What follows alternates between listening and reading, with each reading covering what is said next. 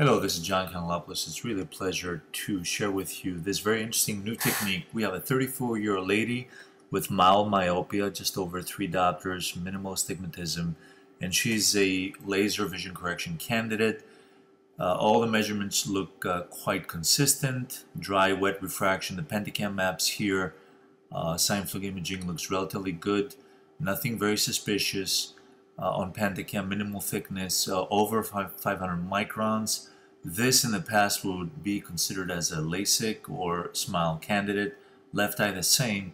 But when we look at the anterior CT images, this is 9mm by Optovue, you can see significant thinning and distortion epithelial maps. These are the new InnovEyes combined uh, wavefront, uh, Scheimpflug, and axial length measurements uh, with consistency and the ability through ray tracing by artificial intelligence to customize the ablation. This is what we actually used in this patient, but we did not perform LASIK. We used the EBK device here by Orca, and this is a blunt plastic device that is rubbed on the cornea, is able to depithelialize the cornea with a very non-traumatic way.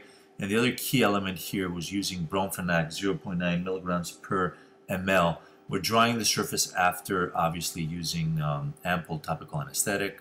Uh, the surface has to be relatively dry and then come with the um, EBK Orca device to remove the epithelium. And the novelty here is that um, we're going to remove the epithelium at a minimal, the minimal possible way.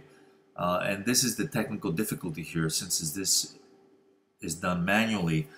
The surgeon has to have an idea based on the pupillary um, diameter and also on the cornea diameter what will encapsule the ablation diameter which is already present on our EX500 excimer laser.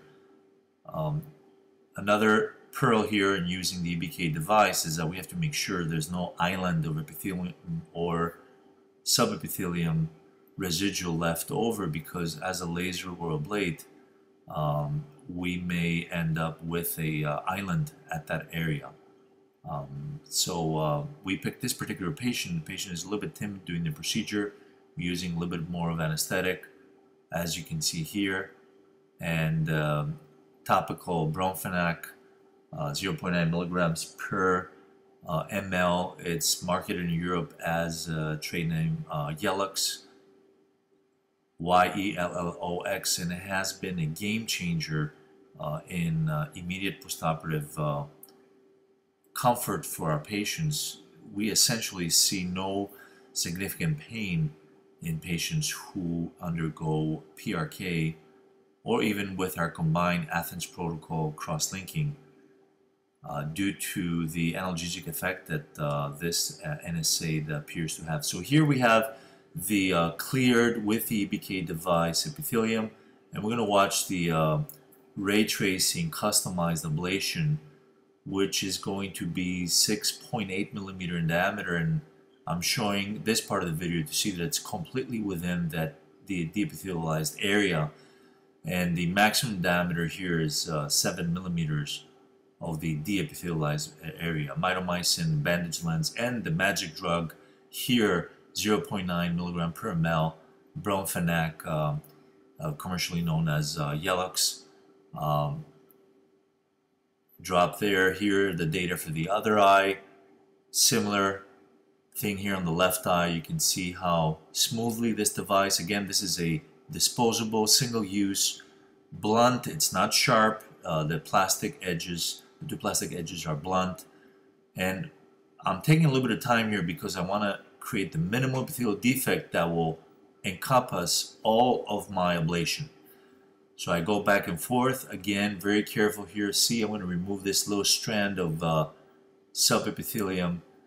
Clear Bowman's reflex, my ablation is totally within my depithelialized area.